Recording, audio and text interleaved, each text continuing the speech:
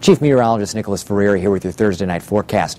Colder air than what we've gotten used to is back in place, and we have lake effect snow, and that's going to continue not just tomorrow, but through the weekend, thanks to winds blowing in from the west. You can see the scattered snow showers will dot our map into early morning. More will be around during the day on our Friday. Much like today, they'll be on and off and hit and miss, and they're not going to add up to all that much. Accumulations will be on the light side of things well under an inch in most spots, and the same will be true for the snow that we see on Saturday and on Sunday, too.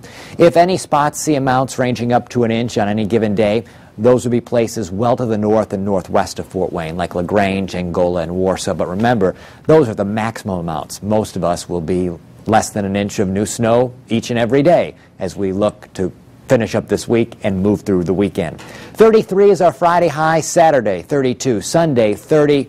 29 on Monday. Next week, a little bit of a boost on Tuesday when we see temperatures rise to 39. After that point, high temperatures back to around freezing for Wednesday and Thursday.